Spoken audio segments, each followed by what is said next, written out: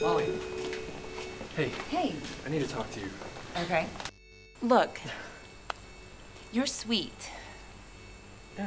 and you're a terrible date. Like so many suckers before you, you tried unsuccessfully to cross that friend to girlfriend threshold. You can't just safely retreat back into the friend zone. Let's motor. Yeah. So, what happened with Molly? Who?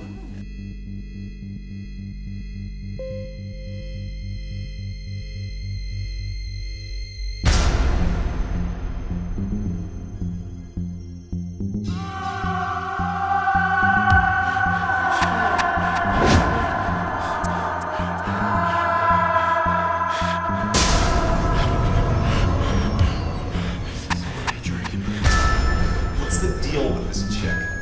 You just don't understand. They're calling her the Scream Queen. What the hell does that mean? How much do you really know about her, Trey? I would never kill someone.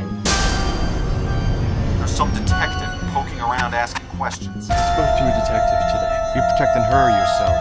Things were fine until you showed up, and now everyone thinks my best friend is a killer. I've known you for four years, Trey Andrews, and you've known her for two days! Who's watching us? Come on, Trey. Everyone.